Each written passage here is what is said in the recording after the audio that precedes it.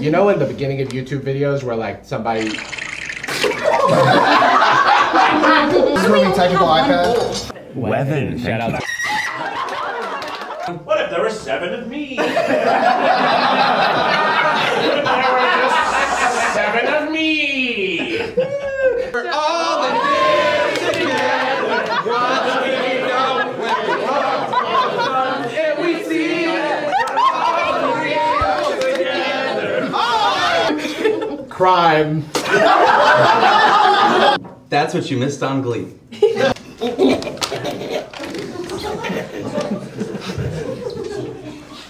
Oh Go blue, Miles. Fix no! it. I got crabs! okay, we have this plate. I was gonna say. Okay, why are you doxing my my DeviantArt from when I was like 12? The verdict came out on the Trump hush money trial, and he has been found guilty. Okay. Love pop culture and eyebrows and. Work. Okay. And then this can just sit here. We beat the prophecy. Mm-hmm. And then you rip their face apart and eat their guts. yeah.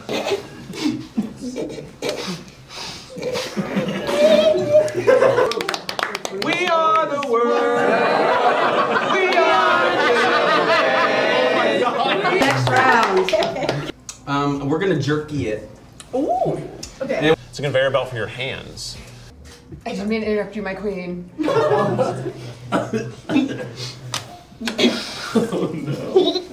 I got denied communion at a funeral mass the other oh. week. I would boil my brain. Oxygen takes its toll. Please help. Please. Please help me, Rachel. We need your help. No jokes allowed. Now let's eat these ladies' fingers. You said wash my brain? Like It's washed. It's clean. It's ready to go. we're, it's like- we're gonna do a nice jerky, lay it out in the sun. There seems to be a B side to this tape. Oh, everybody get closer together. We're, we're oh, Zach's gone! We do a side by side. I don't know why you chose. Mm-hmm. Mm-hmm. Mm-hmm.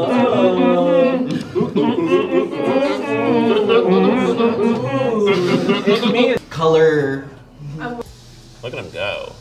Look at these hands go. Show me Rachel. Show me Please what show me. it's. Show me. Oh, please, Rachel. Oh. Every seven years, your tongue just, just, just disintegrates right in front of your Well, Jarvis, what's your experience with laughter? Hate it. I love conveyor belts. You very, very, you don't really get to play with them very much. No, this is awesome. No, Doc, I swear I already peed already. It just like keeps going missing.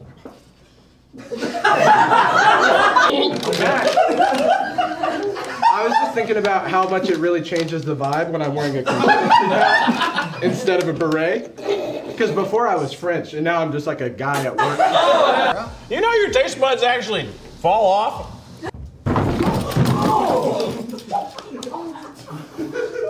Sorry about that. Bless up, or whatever, construction worker.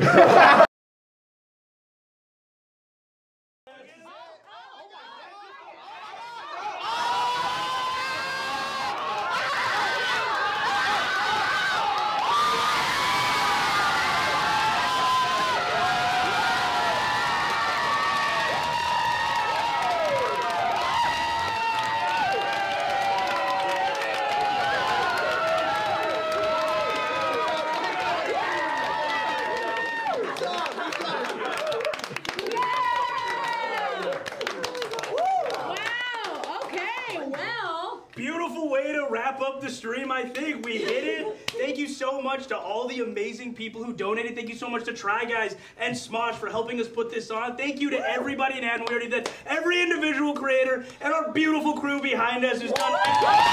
Please donate to the Tiltify um, while we're here. It's fun, it's cute, we're laughing, we're vibing, but we're here to raise money. So like, if you could spare a dollar, a hundred thousand dollars, we'll take it all.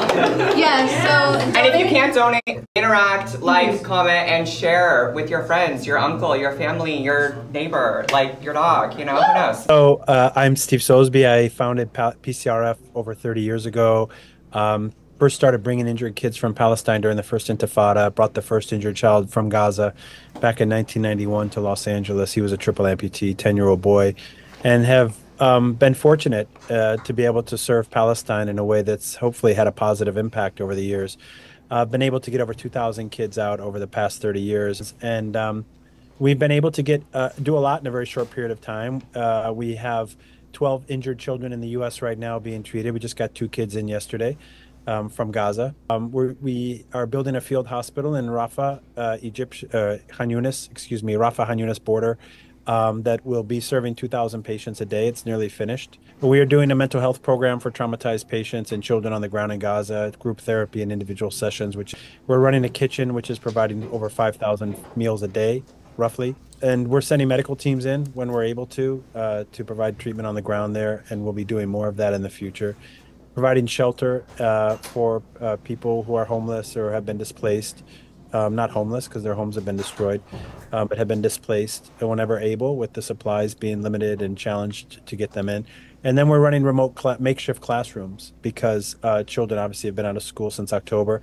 All of us individually is that we're responsible for what's happening whether we're Americans or whatever your nationality is, everybody in the world's responsible, especially the Americans. Oh yeah. Uh, And therefore, we as Americans or as free men and women on this planet, walking on this planet, have a responsibility to stand to stand with those who are struggling for freedom, and struggling for justice and equality and sovereignty and self determination, as the Palestinians are and as they have for generations. And it's our responsibility to heal the wounds that are being inflicted by our governments uh, on these children, on these people and I and that doesn't mean that you you know you should wake up every morning and see these images of of children who've lost their limbs or these parents who are carrying uh, you know pieces of their children into hospitals uh, in complete anguish and despair, and that you just feel there's no role for you to to do something positive. No, we can and we must stand with the Palestinian people today in an effective way, in a way that isn't just scrolling and liking you get out in the streets, you let people hear your voice, you carry the flag with pride, and you do something positive to heal their wounds. The people in Gaza need to know they're not alone.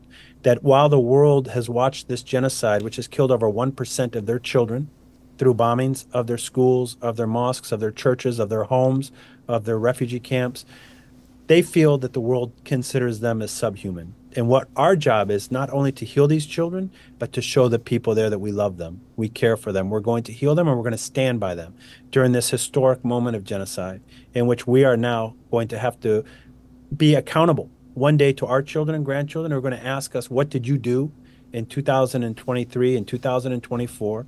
When children were being killed every single day by your government, what did you do to stop it? What did you do to stand up and say enough? If you can heal one child, if you can heal 10 or 20 or 100 or 1,000, that's your responsibility and that's a great deed. So don't give up. Keep struggling. We're all in this together. Let's work as one unified collective body of Christians, Jews, Muslims, Hindus, Buddhists, atheists, whatever. We're here for justice and freedom.